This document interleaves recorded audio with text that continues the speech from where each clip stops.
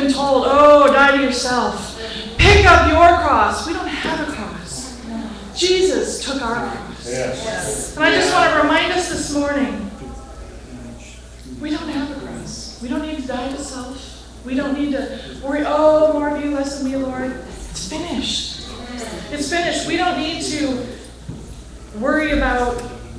uh, It's just, it's everywhere. It's where- everywhere, all around us. And the songs that we sing sometimes, and the lessons we hear. The cross is not before us, the cross is behind us. That's why we're here today. That's why we're celebrating. That's the power of salvation. Jesus died once for all. We simply walk in it. What does that mean? How do I walk in it? It means moment by moment. We choose to trust in His finished work and that it is truly finished. That He has done it all.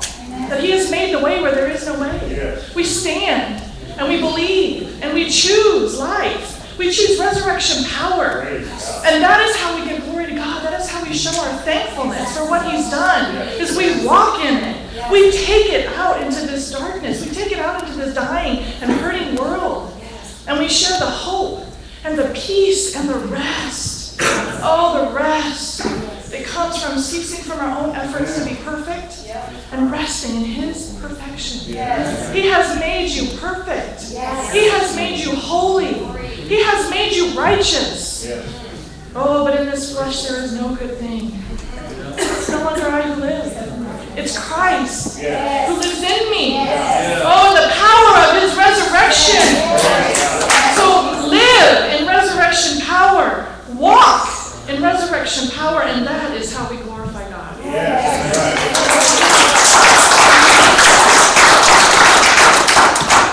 So we're going to reorganize things and shake it up a little bit this morning. Um, the children would like to come sing for you this morning. We have just a brief program, and I have put Gabby in a very precarious position as volunteering the minute she walks in. So grace to all, and um, we'll have the kids join us. Yeah.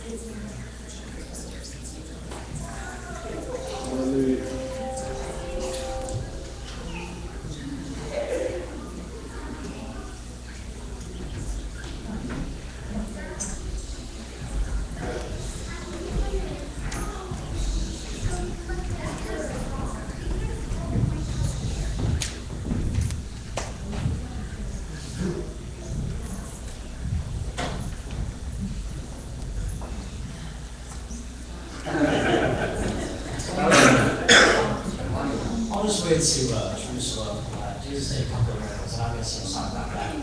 So, One day four men brought a crippled man to Jesus. Still that night the sin lay upon his bed. He had not moved since he was just a baby. Still he longed to become a normal man. Now we don't know much about the men that carried the corners of his stand that day. But if he may create demonstration, we can see what these men might have had to say.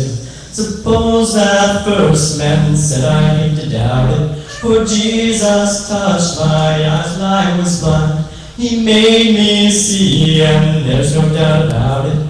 But this man's needs are more serious than mine. Suppose that second man said, no need to bother. This man's condition will remain the same. Though Jesus touched my hand when it was withered, I don't believe he can heal man so lame. Suppose that the man said, I hate the question, but no one here is more skeptical than me. Though Jesus cleansed me when I was leper, still this man will never walk, you see. Then every eye was turned to the fourth man to see how he might criticize and doubt. The watery man was stuck to business. The poor man stopped and said his name aloud. He said, My name is Lazarus. Could I testify? My name is Lazarus. It's good to be alive when I in chains of death was bound. This man named Jesus pulled me out morning soul, sticking from the waters of my voice of God, yeah. a living testimony of His death divine soul.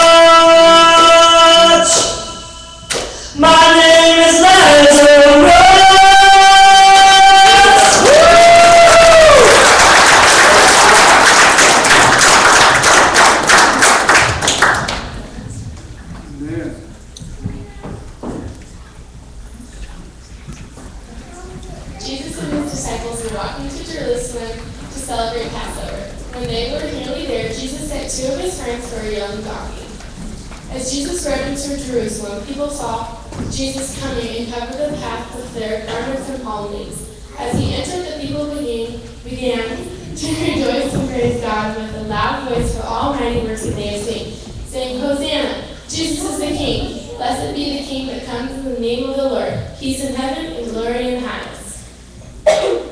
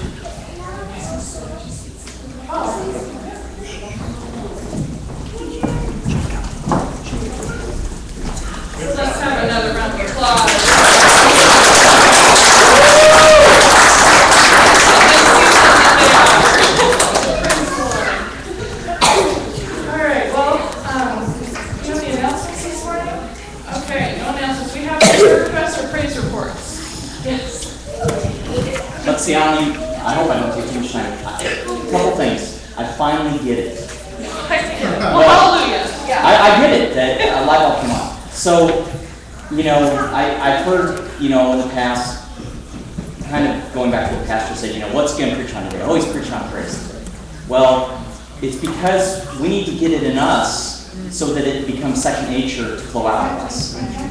You know, when, when you're practicing in sports, you know, a, a pitcher in baseball doesn't practice multiple things. He practices the same thing over and over and over again. And that's what we need for grace. So for me, I've got a praise report and a prayer request. So I was out and working all this week. I had to speak at a conference, and I was just exhausted coming back. I'd been on an airplane in an airport for about 12 hours on Friday, and got finally got a cab at about 9:30 at night, and I just didn't even want to talk to the guy, you know. But he opened up initially and just started, you know, as soon as I got in the cab, started talking about salvation and the Lord, and it was his first night back ri- driving the cab. The guy had been dead almost, almost been dead three times.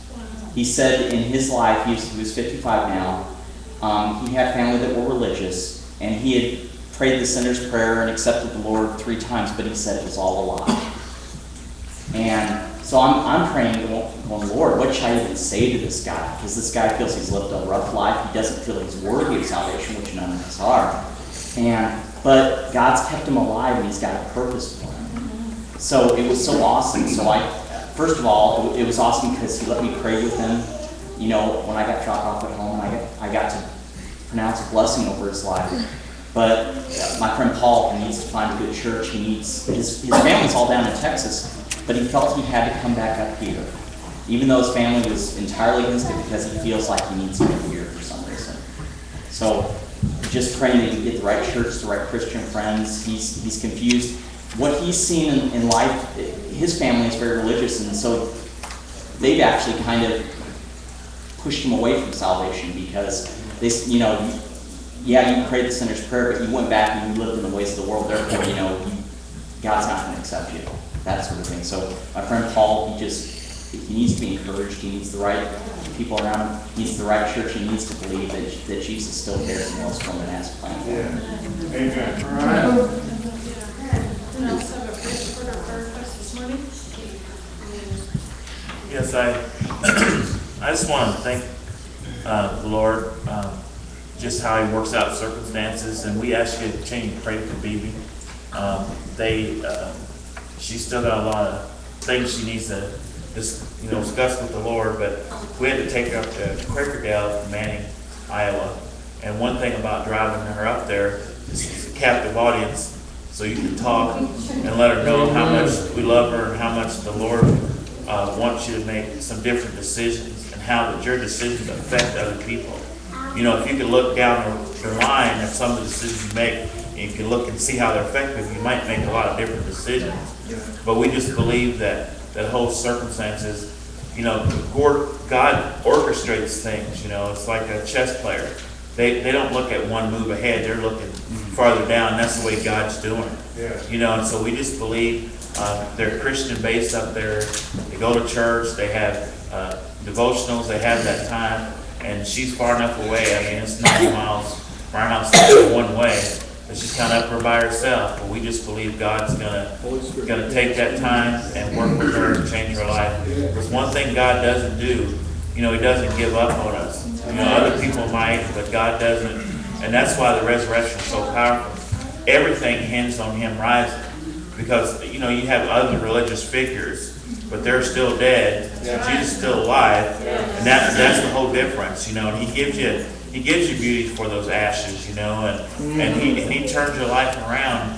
And to take that time every day and thank Him.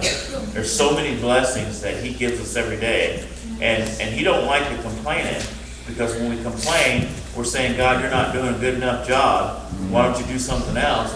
Rather than when you when you praise God, you know, it just releases so many blessings in your life. God, I may not understand what's going on, but I choose to trust you. I choose to believe in you, that you know what's best for my life. Someone that knew you before you was in your mom's belly, or knew your name, he can take care of it. So we just want to thank the Lord. Amen. Yes. You know, know we're always talking about where's the Lord, you know, where- I don't, this last week, I have seen him a hundred places, mm. in a hundred people. Uh, I really feel like there's a great movement, but this morning we saw something on Fox News that absolutely was thrilling. And this guy gave a testimony of he and a friend went out duck hunting in Louisiana. And the weather got real rough, nobody else was out there, the boat capsized, and they wound up standing on something. Apparently they were out in the middle somewhere, but he said both of us, just our heads were out in the water. And the dog kept swimming around. And Of course, they had a dog a retriever to get the ducks, but nobody was out there. And he said, after the first hour, the, the fellow, there was another fellow there, this guy was older than I am, so the other guy was older than dirt, but anyhow, he was, he was there, and uh, he told him, he said, I can no longer feel my body, I'm so cold. And, the guy said, there is nothing we could do, nothing. And this is the good part. After two hours, they just had all but given up. Nobody had come. And he said, I put both hands up. Now, here's the, here's the thing. The Bible says when we seek him with all our heart, he'll, we'll find him. And he said, out of total desperation and death looking me in the face, he said, I raised my hands in the water with just my head and my hand out of water, and I said, God, if you're there, and you do really exist, give me a second chance. And he said within 15 minutes on the horizon, he saw a little white dot. And it got bigger and bigger and bigger. And he said it was a trawler, a trawler, you know, fishing boat, big enough that it saw. And he said, here's the thing that blew my mind. When the boat came up to us, he said, on the side of the boat, it said second chance.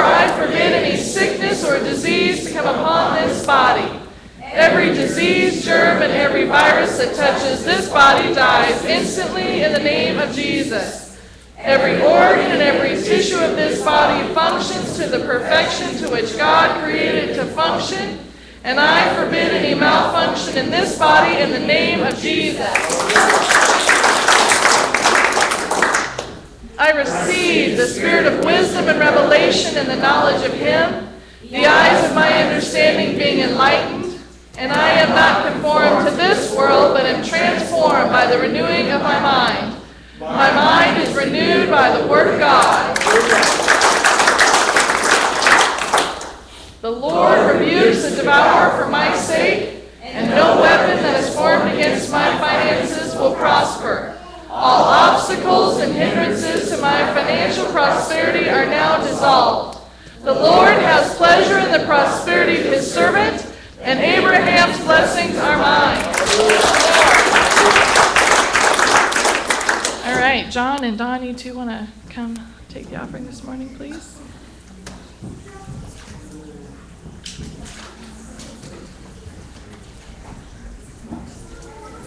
Are you okay?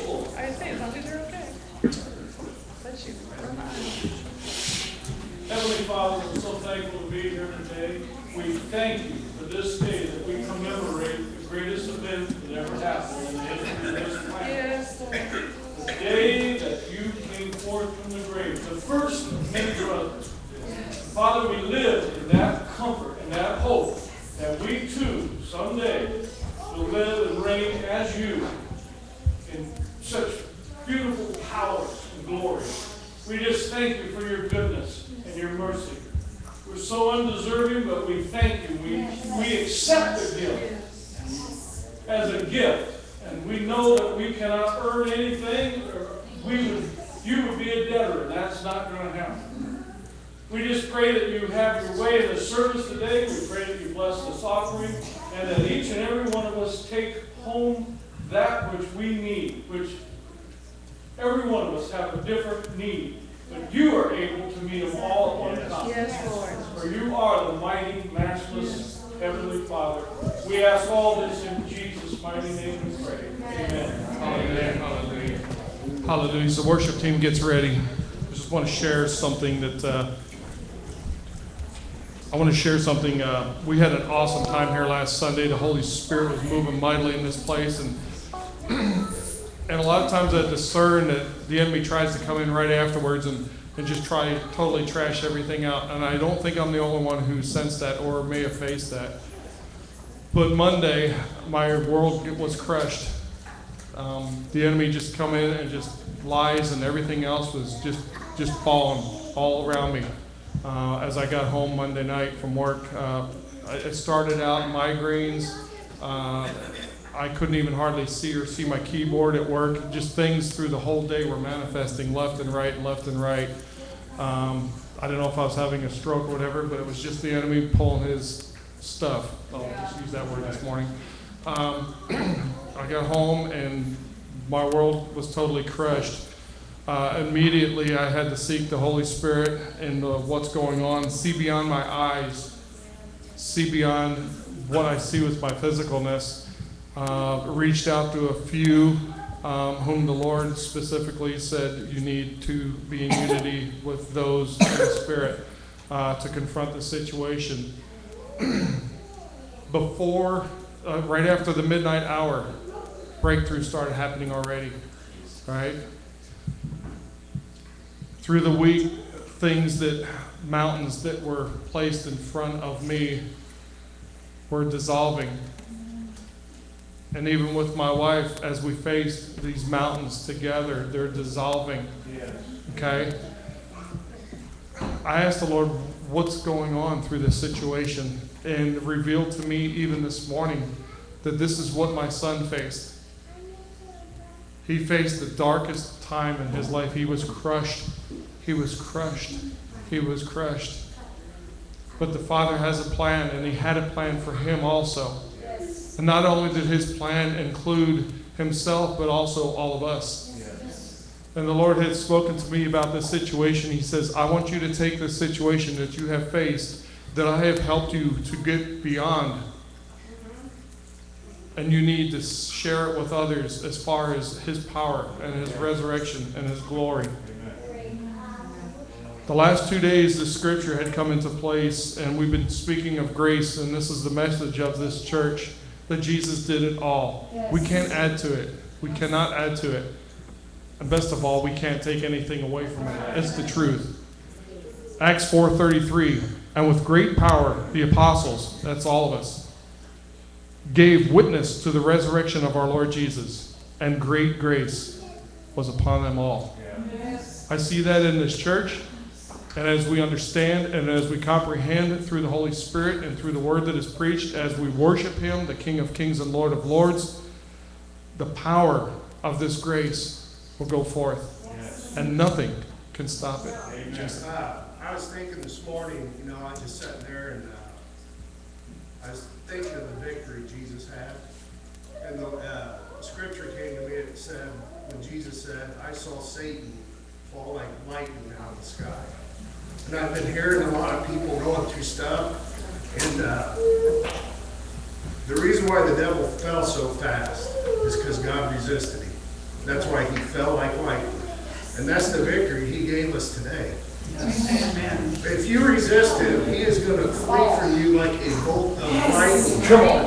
Because the power that Jesus gave you. He said, I gave you power to trample on serpents. Yes. And that's, that, if you resist him, it's like lightning. That's how fast he has to move. Hallelujah. Hallelujah. That's the victory.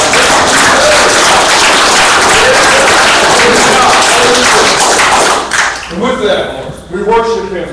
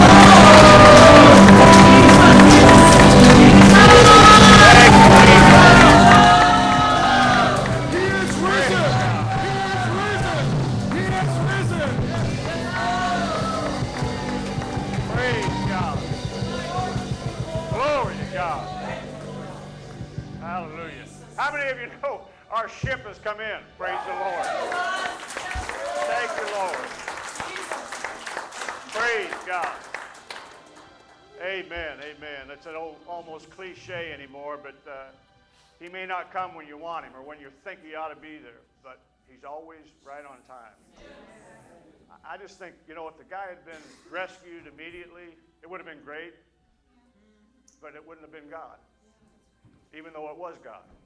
It, it would have just been a, a lucky break, a coincidence. Sometimes it takes those dark times, those shadowy times, before you really see the light of God, you know. And I, I'm not saying God creates those situations. I'm just saying He takes advantage of them. Everything, He says, in this life is designed for our good, for our well-being, for our success, for our victory. Amen. And today is a perfect example of that. It's the greatest day of humanity and for humanity, whether they know it or not. Certainly for Christians, it's the greatest day of the calendar year.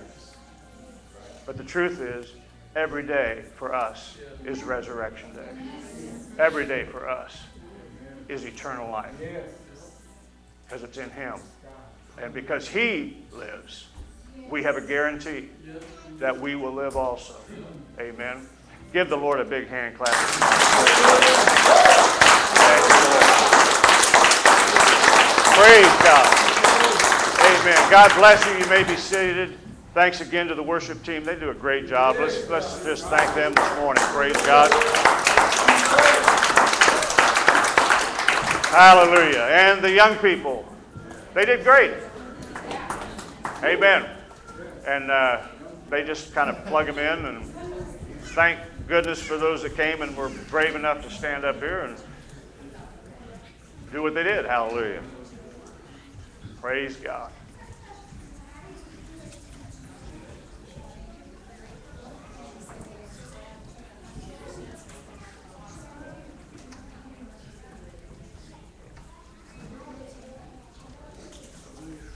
And those of you that heard uh, Tammy prayer request, and she just got a notice from Dan from the hospital that skin graft took 100%.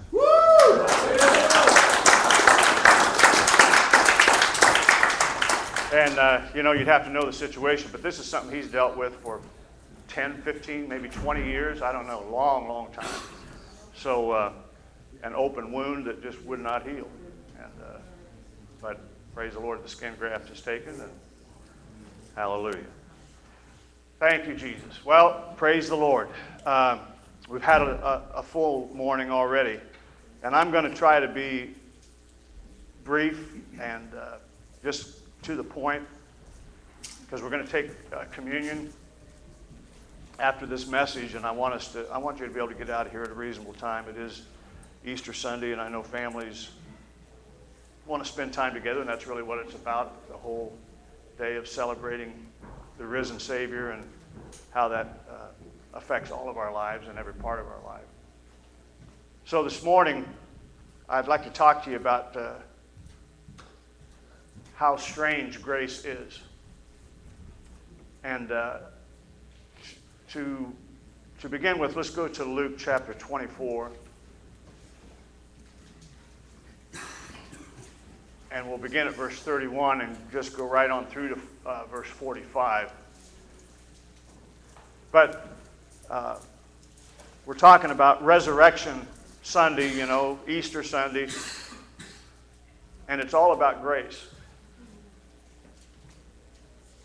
It's about our Savior, and the scripture says that uh, the law was given by Moses, but grace and truth came by Jesus Christ. So uh, it's in our relationship with Jesus that we actually experience grace. You don't experience grace through the law or through religion or by doing good things. You know, there's nothing wrong with doing good things, and we would like everybody to do good things.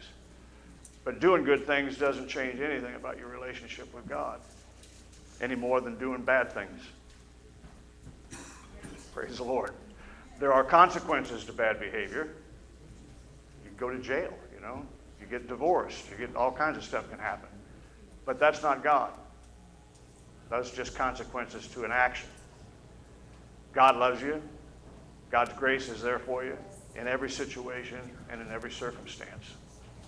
And it's more important to God that you understand that than you understand all the theology of religion itself. There's a place for all of that, but without understanding the love of God and the grace that He extends to us, then all of the religion in the world is just a, a confusing mess. And sadly, that's what most of the world knows about God, is religion. That's what's promoted all the time. Instead of promoting God, we're promoting our particular denomination or our particular isms or, or what have you. And uh, the Bible says that we are to just, whatever we do, we're to do it in the name of Jesus. In other words, whatever we're doing, we ought to, we ought to be presenting Christ. And that's not religious. I mean, you know, there's a big difference between being uh, revealing Christ and being religious. You can reveal Christ in a bar room. I know that'll make some of you feel better, some of you maybe not so much. But the grace of God can be revealed. God is everywhere. And He's certainly wherever we are. But try to convince a religious person of that, and you've got a fight on your hands. Praise the Lord. I, I hear people, I mean, I, Tony uh, Campolo had a, wrote a, a little essay, and, and in this, he was talking about a situation that happened where he had uh, got up early in the morning, he'd been on the road. He's a, a Christian writer. He's really not a preacher, but he's a Christian writer, and he writes on Christian things. And he'd been on the road promoting a book or something, and he was in this strange city. And he woke up because of, uh, because of the time gaps between where he lived and where he was, the difference in time. He woke up at like 3 o'clock in the morning, starving, wanting breakfast. So he gets up and he goes, and the only place open is this bar just around the corner or down the street from his hotel. So he goes to this bar and he goes in. He said, "Hey, can I get a cup of coffee and a donut or a bagel or a, some toast or whatever?" The guy said, "Sure." So he gets it for him while he's sitting there having his coffee and toast. That's what he said he had. I don't know if he had anything else or not, but praise the Lord. In walks this whole group of prostitutes, and they're just screaming and carrying on and acting like crazy people. And and uh, he said, "What's going on?" And this the one gal said, uh, "Tomorrow's my birthday." And uh, they all laughing at her and poking fun. She said, "No, I've never had a birthday party. I've never had a cake. I've never celebrated my birthday. It's just come and gone." And and these people, the other, are all kind of joking with her and teasing her. And then the thing kind of dies down, and, and they leave. And so this Tony uh, Campolo says to the bartender, he said, "Hey, how about we have a birthday party for her tomorrow? I'll get a cake, and if you'll help put up the decorations, I'll help cover the cost of the decorations, and we'll get everybody involved." So everybody said, "Sure, yeah, we'll do it." So the next night, same kind of scenario, and 3.30, 4 o'clock in the morning, in come these prostitutes, and they're all carrying on, shouting, and, there's a big banner saying happy birthday Gladys, or whatever her name was, and a big cake with candles on it. And she comes in and she just stares, totally stunned. And uh, she looks at the banner, and then she looks at the cake, and bartender hands her a knife, and he said, here, let, cut the cake so we can all share it. And uh, she looked at it, and she said, uh, would it be all right if we don't cut it? She said, I've never had a cake before. I've never had a birthday party before. She picked up the cake and left. And that's God. That's the grace of God. We'd look at the woman and say, so what? She hasn't had a birthday you know, party. She's, she doesn't deserve a birthday party anyway. After all, she's a prostitute. She's a lowlife. She's a this or that. And we can apply that to anybody and everybody. But that's the love of God. He looks at the prostitute and says, oh, let's have a party. I want to throw you a birthday party. That's God. That's the way God looks at us. Whatever your situation is, whatever your circumstance is, say, well, I'm not a prostitute, or I'm not a drunk, or I'm not. No, but we all got crap. We all got issues. And God's saying the same thing to each one of us. I want to have a party for you. Come on. I paid for it. Yeah. I want you to enjoy it. And that's the relationship that God wants us to have, not with religion, but with Him. A God that loves us in spite of us and wants us to know that it isn't about us, it's about Him. He accepts us. Yeah, He accepts us. It isn't just because we say, Come as you are, He accepts you. He accepts you after you came as you were, and you still are. Yes, yes, And He still accepts you. Religion says if you come as you are and you stay as you are, that's called backsliding. Yeah. That's not what God says. God sees the prodigal son and he runs to him. He throws a party for him. That's what God wants to do in all of our lives, continuously, every day, each hour of every day, to make you feel accepted, loved, and protected. And when you finally get to that place, you'll expect God to do miracles. Why? Not because you deserve but that's the kind of God He is. You'll expect to be healed when you're sick. You'll expect financial breakthroughs when you're going through financial troubles. You'll expect your relationships to get restored when they're all screwed up. Because God wants to do it, and He can do anything. And He doesn't do it based on how good you are. He does it based on how good He is. And He loves you just the way you are. Praise God. Okay, Luke 24, verse 31. And their eyes were opened, and they knew him, and he vanished out of their sight. And they said one to another, Did not our heart burn within us while he talked with us by the way, and while he opened to us the scriptures? And they rose up the same hour, and returned to Jerusalem, and found the eleven gathered together, and them that were with them, saying, The Lord is risen indeed, and hath appeared to Simon. And they told what things were done in the way, and how he was known of them in breaking of bread. And as they thus spake, Jesus himself stood in the midst of them, and saith unto them, Peace be unto you. But they were terrified and affrighted, and supposed that they had seen a spirit. And he said unto them, Why are ye troubled? And why do thoughts arise in your hearts? Behold my hands and my feet, that it is I myself. And handle me, and see, for a spirit hath not flesh and bones, as ye see me have. And when he had thus spoken, he showed them his hands and his feet. And while they yet believed not for joy, and wondered, he said unto them, Have ye here any meat? And they gave him a piece of broiled fish and a honeycomb. And he took it and did eat before them.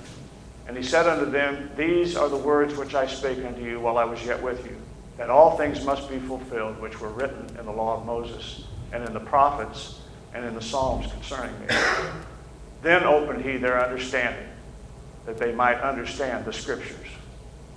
And all of that has uh, import this morning, but I want to draw your attention especially to verse 37 where he says, But they were terrified and affrighted and supposed that they had seen a spirit. And then in Luke chapter 5, just one verse here, Luke chapter 5, verse 26.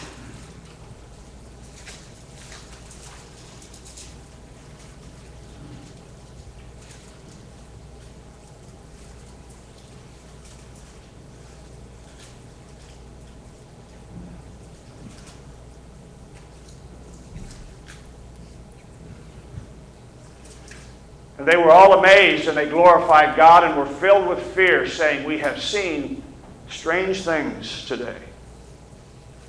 Praise the Lord. So I, I, uh, I have to laugh at, uh, at people that want God to be predictable. Praise the Lord. You know, if we do this, then He'll do that. And uh, they think it's, you know, really not quite fair of God to uh, act suddenly or to uh, be too powerful, too dramatic. Amen. Too graceful. Praise God. They want God prepackaged. That's what religion does. It, it, it confines him in a box. It prepackages him. And uh, they do that because they want to look him over. Praise the Lord. They want to check him out. They want to see his acts and then decide whether they want to accept him or not. You know, that can't be God because he ought to be punishing that person. It's like the woman caught in the act of adultery. I mean, the religious people all said, hey, we know what God's supposed to do here. Stone her. And when he stepped outside that religious box, it freaked them all out. They didn't know how to deal with it. But he was really, Jesus was revealing the true heart and the true nature of God, and they were looking at the, the cause and effect of sin. Sin has to be dealt with. The good news is this morning, Jesus has dealt with it. Yes. That's it. Praise God. We're not dealing with it. We- We're not capable of dealing with it. Man has never been capable of dealing with it. That's what the law was for, was to prove to them that they couldn't deal with it, that they would fail over and over and over. And Jesus came and fulfilled the law and then became sin so that we could be the righteousness of God in Christ. It's that simple. It's the great exchange. It's too good to be true, but it's still true. Religion has a problem with that because it still wants you involved in the equation. But you were never involved in the equation. You were just the sum. You were the, the result of the equation. You get the benefit of the equation without ever being a part of it. You. Hallelujah. Praise the Lord. So, Easter is God's answer to the human symptom of fear. And it's grace. I, I, I challenge you to look at religious ways of doing things and tell me it isn't frightening. You know, that you do this and then he'll do that. Because we know, deep down inside, we never quite do that. Right. Not like we should. Right. And so we always are fearful of reprisal, Yeah. of payback, of punishment, of, you know, that we have coming. We know we deserve it, so we're just waiting for the next shoe to fall. That's not God. Right. He has finished it. Right. That's what's so beautiful about Easter. It's a constant uh, and all day reminder of what every day is supposed to be to us hope, joy. Something supernatural, something miraculous has happened, and we can expect it to happen every day of our life if we believe it. These guys had a problem believing it because it was too good to be true. Praise the Lord. See, in, in resurrection, God is making an explosive declaration that we're not only ignorant of his, un, of his unlimited power, but we're also ignorant of the limitless creativity of his methods. We don't expect a boat to come along that says second chance. I mean, it's, what are the odds? We don't expect a God that's going to look at my failure and my weakness and my, my even willingness to be weak at times. Even my desire to be weak at times. I'd rather, for a moment, you know, how many times have you said, you know, I just, you know, Holy Ghost, step back for a moment while I punch him in the face. And then, you know, come back immediately. Or while I bless that driver that just cut me off in traffic. And we tell them that there's only one God. But we don't necessarily use that finger to, to indicate. Hallelujah. I know this is shocking that a preacher would actually even say this, but it's all true. And if any of you ever see me in traffic, you know it. And that's why I don't have the preacher bumper sticker. I don't have to explain later when they follow me to the parking lot and say, what was that all about? Momentary breakdown. God's still with me. Who would have expected the resurrection? Well, the answer in Scripture is clearly nobody. Even those that Jesus told specifically and clearly in advance were caught off guard when it happened. Now, how many times has God told you, I'm going to bless you this way? Or I'm going to do something in your life. I'm going to heal this situation. I'm going to, I'm going to give you a financial breakthrough. I mean, you just sense it. You know, I'm not talking about audible voices here, but it could be. And, but it doesn't happen like you think. He said he was going to do it. But when he did it, they all standing there with their mouth hanging open saying, God, this is freaking me out. What happened? Just exactly what he said was going to happen happened. Yes. Amen. Let's look, look, how could, I mean, scripture, out we'll look at a scripture here in Luke chapter 18, verses 31 through 33. Now I want you to read this, and there's no way he could have said it any plainer than this. I mean, he just told them what he was going to do.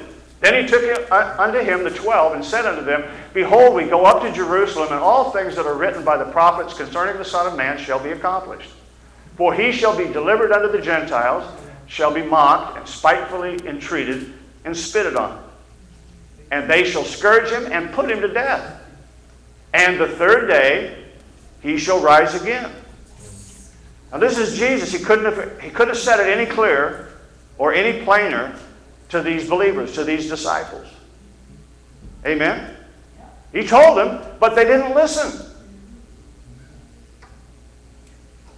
We're all that way to some degree. We'll only hear the expected. We'll only see what we think God can do. We're actually saying we're only going to see or believe what we think we could do if we were really powerful or if we had control. We're not, this is not about us. This is about Him. This is about the Creator of all things. There is no limit to what He can do or how He can do it. We say, well, God, God is impressing me that He wants to give me a financial breakthrough, so I buy two extra lottery tickets this week. Praise God. Nothing wrong with buying lottery tickets, but that's pretty much limiting to God to three opportunities. You got three shots, Lord. Bring it on. He doesn't need the lottery.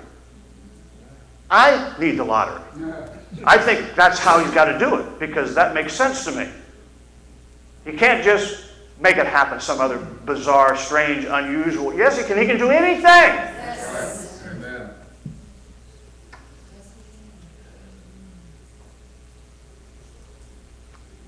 Praise God. You know, we, we wish for, we might even pray for, and dream of the unexpected. But if God tells us it's going to happen, we either doubt it or we're afraid of it. Afraid that He won't do it, afraid that it won't happen, afraid that for all kinds of reasons we'll come up with, uh, you know, well, we don't want to embarrass God. We don't want to, we don't want to share this with anybody in case it doesn't happen. I mean, listen to, we're, we're, we're feeding a negative into something that is only positive. And because of that, we wonder then why things don't happen. Amen? Because you don't believe. He said, when you pray, believe that you receive what you pray for when you pray. And you'll have it. Not after you get it. We think that's faith. Hallelujah, what great faith. I got it. But I haven't believed for any of it. And it is in spite of me that I got blessed. We think that he might do it, he might not do it. Or we're afraid that he will. And he says he will. So listen. Listen to this in Isaiah 28, verse 21.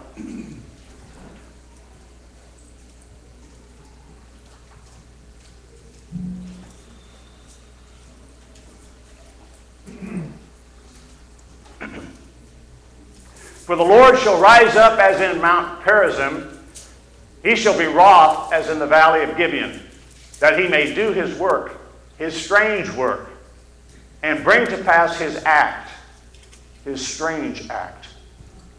Now, if you think God is predictable, you have not read the Bible. He's strange by any human definition. The things that he does is strange. The thoughts that he have are strange. The plans that he makes, they're strange to us. Humanly speaking. If they're not, then he's not God. He's just a bigger us. The promise here, it's powerful. And it's, it's a commentary on God's unpredictability. The word strange here doesn't mean bizarre. It, it doesn't, it doesn't mean weird. The Hebrew word used here means unusual or coming from an unexpected source. Not the lottery, someplace else. Someplace you didn't expect it to come from. And the examples that the prophet Isaiah gives illustrate my point. Because Mount Perazim refers to a time when God gave David a dramatic victory by breaking forth like a flood over the enemy army that he faced without David's army ever raising a sword. God just broke out like a flood and swept the enemy right off the field of battle. Now, believe me, that isn't what they were expecting. That's right. The Valley of Gibeon, that refers to the, do, the day when the sun stood still in the heavens so that Joshua and his army could complete a total victory over the enemies of God's people. Not just a partial victory that would mean they'd have to fight again and again and again, but it totally wiped them off. They were winning the battle. And they were afraid the sun was going to go down before they could finish the battle. And so God held the sun still until they totally annihilated their enemy. Now, both of those examples, they speak of victory over adversity. And both were strange. Both were unusual, unpredictable, and both were acts of grace. Because, first of all, Joshua and the people of Israel had murmured and complained and doubted and questioned God and disobeyed God and everything else, but yet God still gave them this tremendous victory. You know the story of David adulterer, murderer, name it. God did not defeat his enemy because David deserved his enemies to be defeated. God defeated his enemies because David was God's child, a man after my own heart. Not because he was good, not because he was deserving. He was simply a believer. So, as unpredictable as winning a battle that you don't actually fight, in which the enemy is swept in front of you like a tidal wave comes through and just wipes them off the map. That's God's power rolling out ahead of you. As unpredictable as the sun standing still. Now that's strange. Strange. Praise the Lord. But not as strange as dead people rising. Come on now. Hallelujah. That is the strangest of them all. Empty graves are in a league all of their own. Jesus' resurrection categorically excludes any hopelessness in any situation. Listen to what I'm saying because I don't know what you're facing or will face. But I'm telling you today, the resurrection of Jesus categorically excludes any hopelessness in any situation and includes anyone who opens their life to this gift of grace.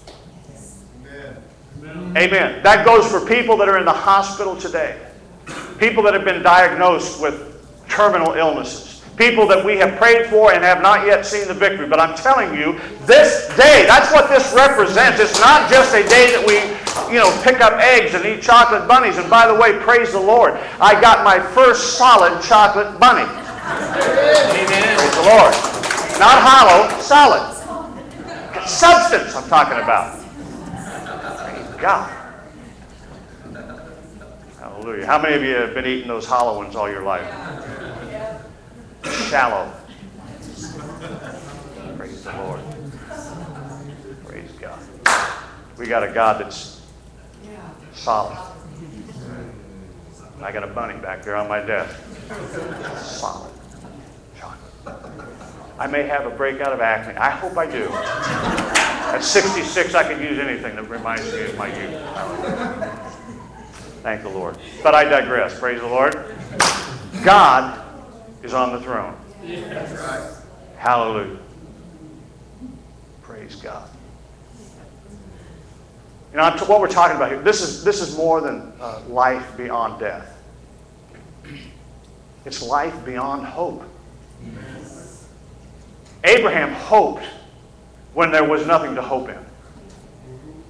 This is what resurrection is about, church. This, this ought to inspire us for every day for the rest of our life. Not that, not that we're just going to live forever. We are going to live forever. We've already started that. But that every day we can expect the unexpected. Every day we can expect a strange, unusual miracle from a source that we don't expect. Simply because that's the God that we serve. Not because we've been really good this week. But because He's always good. And He always does strange things. These things are not in the Bible so we can look back and say, what a, what a historic event. No, they're there, Paul says, so that we can come to an understanding of our God. They are types and shadows. They are there to increase our faith. Look, we got to believe. We've got to expect it if we're going to experience it. You can't just go through your life saying, oh, thank God for grace, and still live as though you're some religious dolt.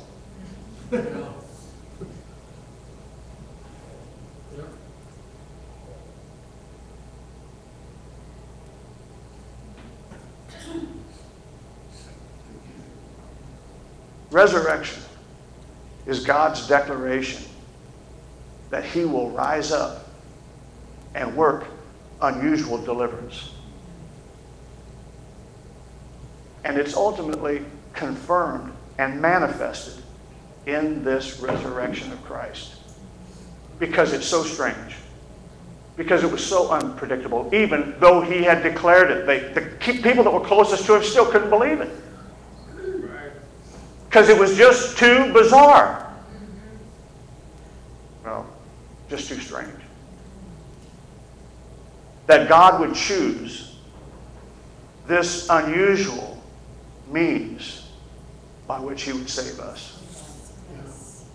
I mean, think about it. It's so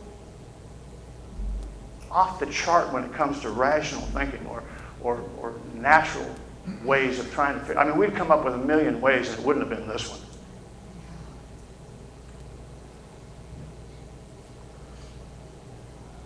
When hope fades, life expectancy can rise again. I'm thinking about Joni this morning. We don't even know for sure where, he, where she is right now. Because uh, they moved her out of her room and there was nobody at the nurse's station, so we couldn't figure out where she is. So I don't know if she's back in rehab, if she, they moved her to a different room, or what the deal is. But I mean, in my, and naturally, you know, you think, God, well, we've prayed and we've prayed, and it's just been, you know, one thing and another thing. Most all of us have been dealt with things like this. I mean, you know, we know that God wants us to be blessed financially. He became poor that we might become rich, and we're still struggling trying to get that financial breakthrough and figure out why. And pretty soon we start losing hope, and we just kind of drop back into that doldrums of just, well, whatever, you know, just hanging here.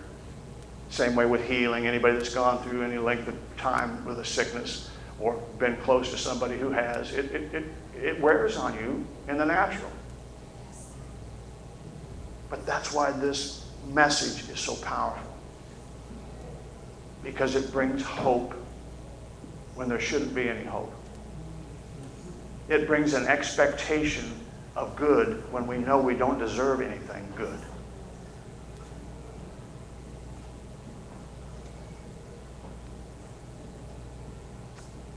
That when shadows crowd in, you can expect the unexpected. Yes. Easter is the evidence that such expectations are reasonable. Mm-hmm. Colossians chapter 3, verses 1 through 3.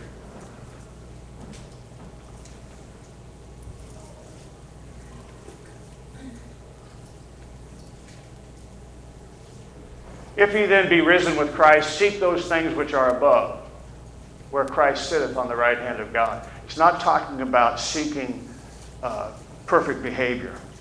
It's talking about seeking the things that can only come from God. Right.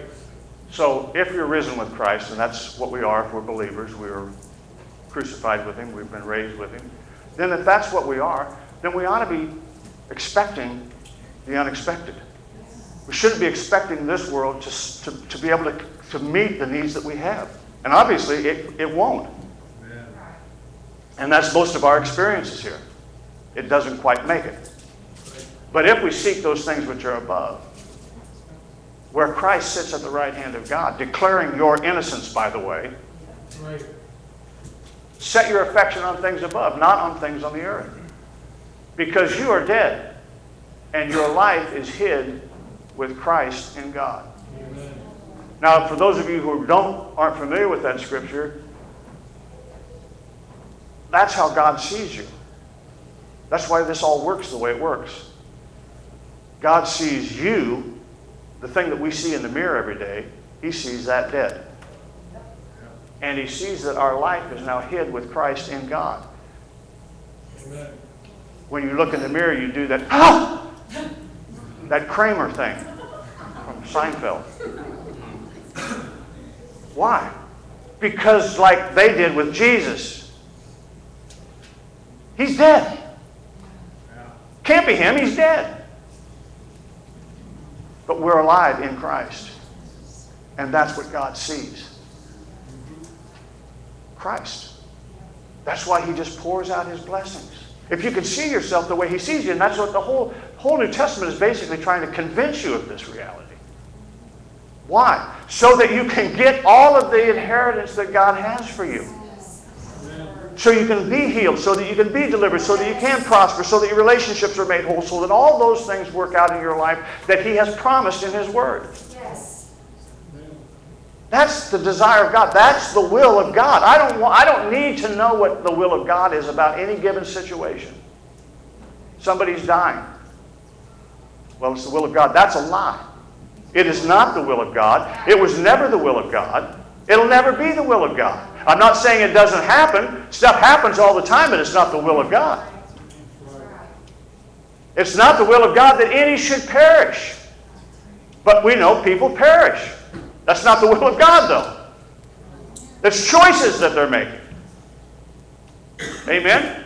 So you're dead, and your life is hid with Christ in God. Someone said that uh, Jesus plus nothing equals everything.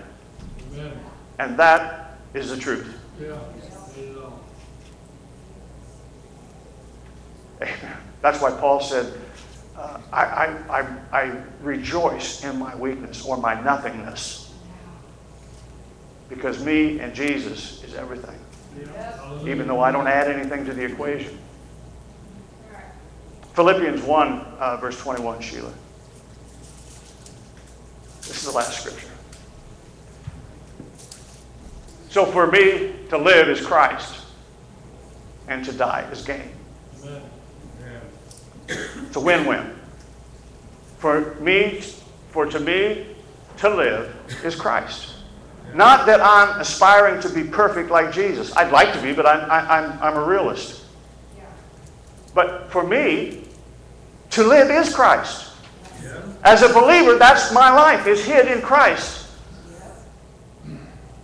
Do you, do you understand what he's saying? He's not telling you, Paul isn't saying, for me to live is, I'm going to be perfect like Jesus. No, he's saying, if I'm alive, I'm, I'm, I'm Christ in this world. That's what God has declared.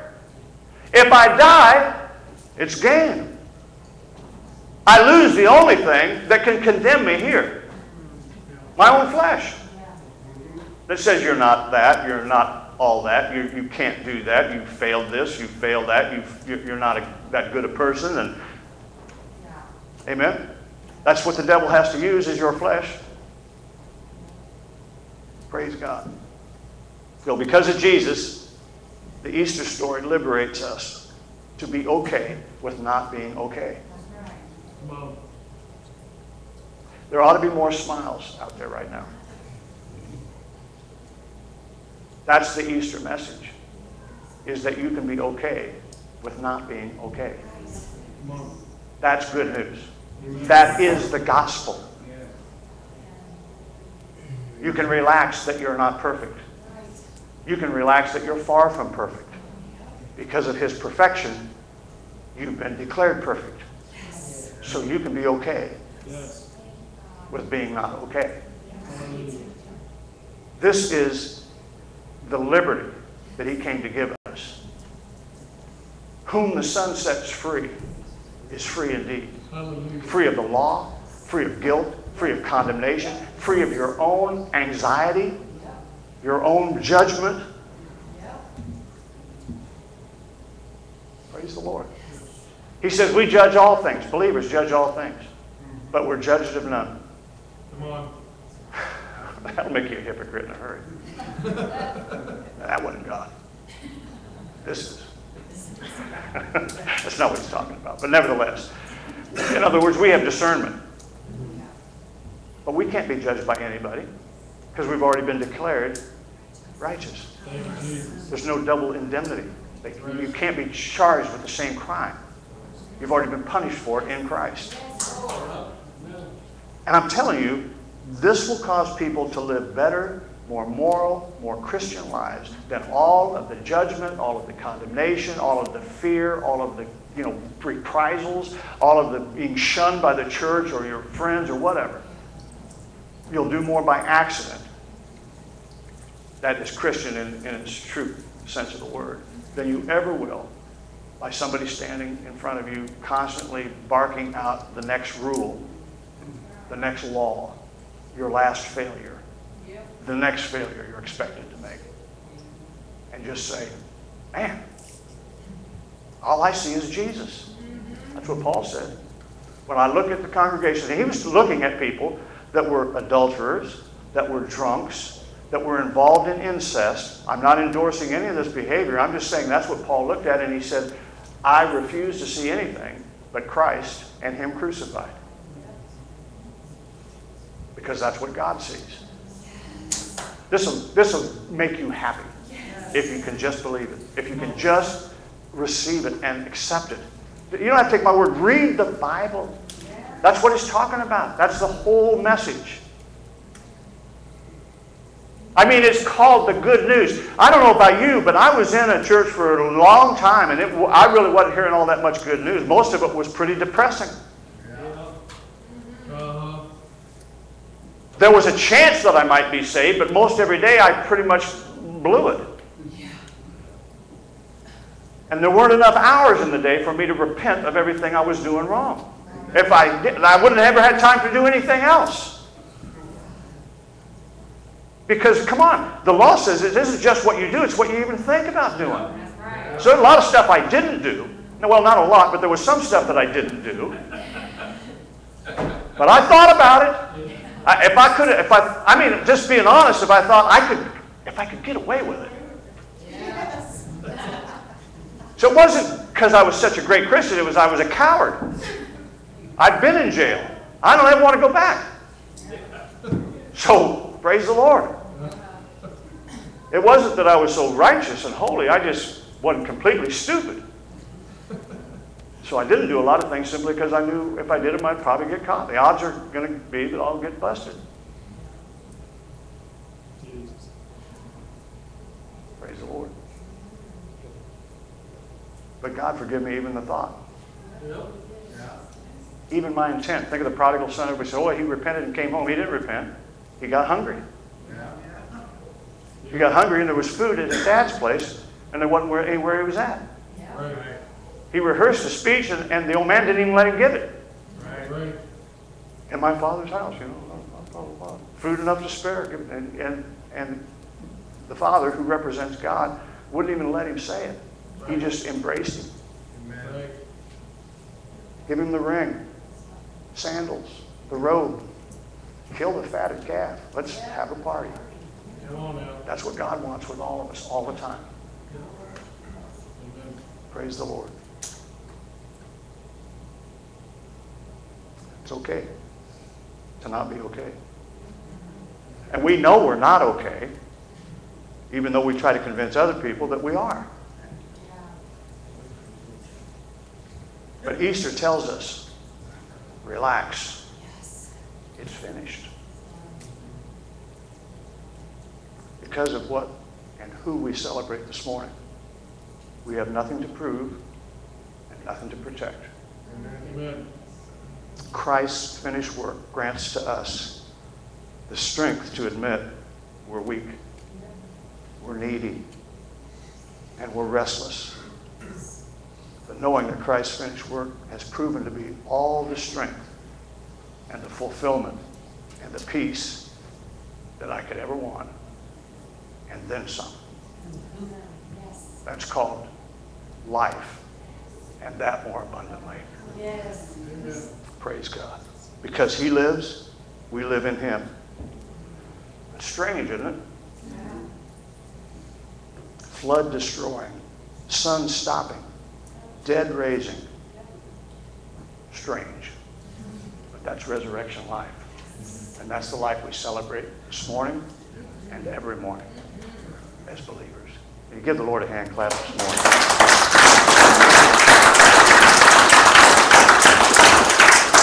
Praise the Lord. Hallelujah. God is good. If I could get a couple of you fellows to come up and, and pass out the elements here of the communion, we'll, we'll have communion and then dismiss. Sheila, if you would bring up uh, Ephesians 1, verse 7.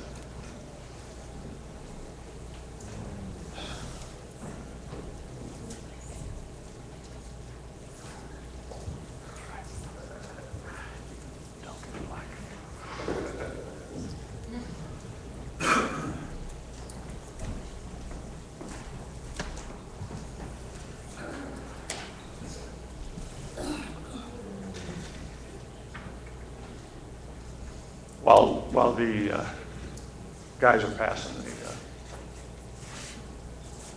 uh, bread and wine,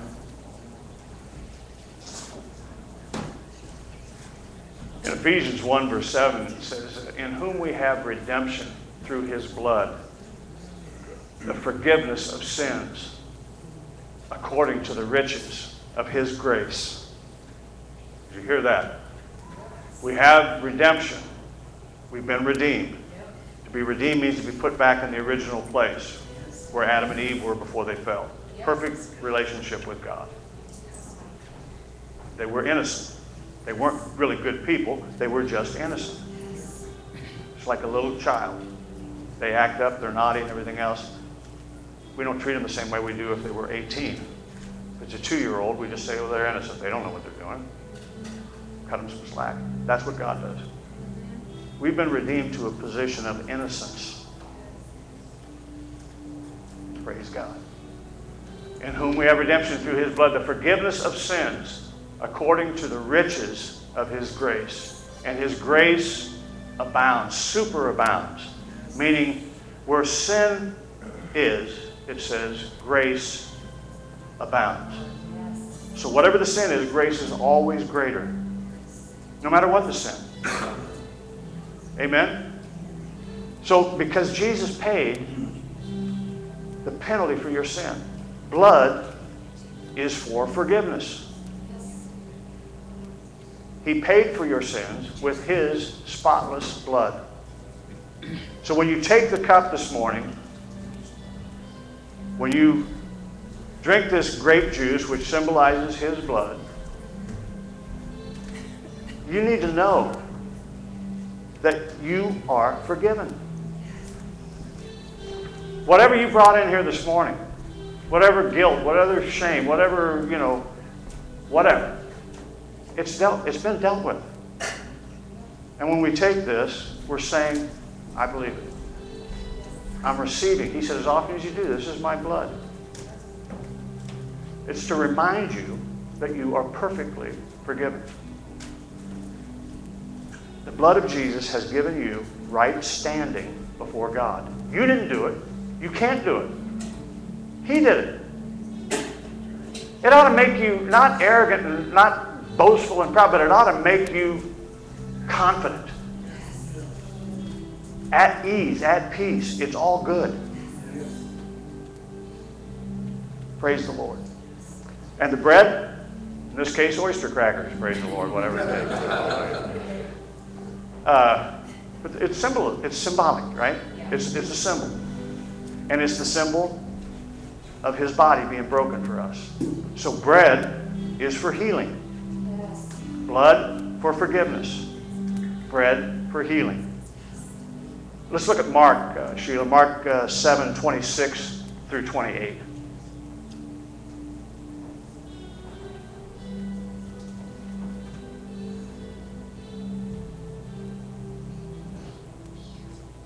Woman was a Greek, a Syrophoenician by nation, and she besought him that he would cast forth the devil out of her daughter. But Jesus said unto her, Let the children first be filled, for it is not meet to take the children's bread and to cast it unto the dogs. Now, he was talking about people that were under the covenant at that time, which were the Jews. She was a Syrophoenician, so she was a Gentile and wasn't a part of the covenant. So she didn't really have a right to the promises of the covenant. And it says that uh, Jesus said to her, Let the children first be filled, for it's not meet to take the children's bread and to cast it unto the dogs. And she answered and said unto him, Yes, Lord, but the dogs under the table eat the children's crumbs. Praise the Lord. So the bread, even a small crumb, which is his body, is for healing. Because of what Jesus did at the cross, we don't just have forgiveness, we also have healing. And the same faith that you had for forgiveness is the same faith that brings you healing. All right? That's what we're doing here. So this isn't just so we can fill up some, the final few minutes of the service, because we don't do this all the time, although you can. But you should expect to be free. You should expect to feel good. You should expect to, just like a bird is lifted, you're just light white. Because you don't have to be condemned. You don't have to be guilty. You don't have to be ashamed. It's all good. He, he's happy. He's contented with you. He loves you. Who cares what other people think? Let him get over it or get get past it, you know. He's happy. Be happy. My favorite. Don't worry. Be happy. Praise the Lord. Okay, 1 Corinthians chapter 11, verse 24. If you've got symptoms in your body,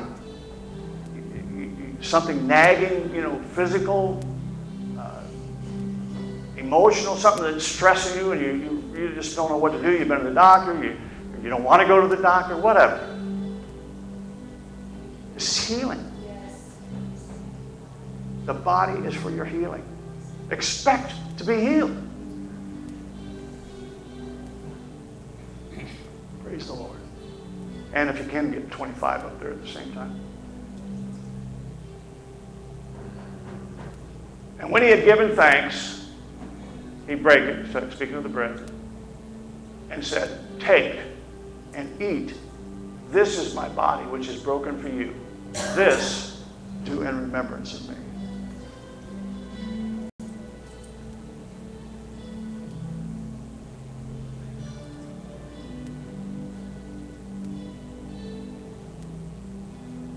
And after the same manner also he took the cup when he had supped, saying, This cup is the New Testament in my blood. This do ye as oft as you drink it in remembrance of me.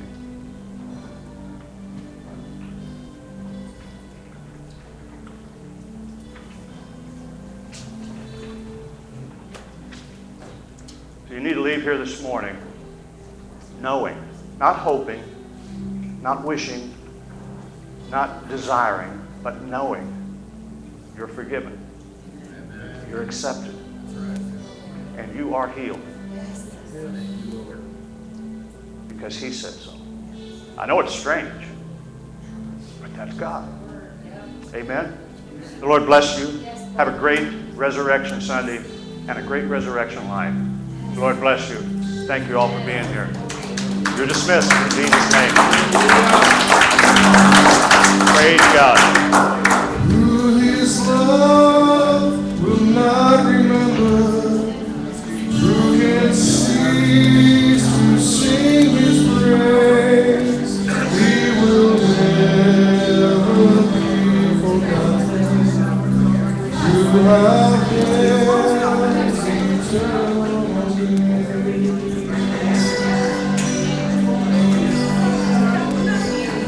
Praise the Lord, my brother.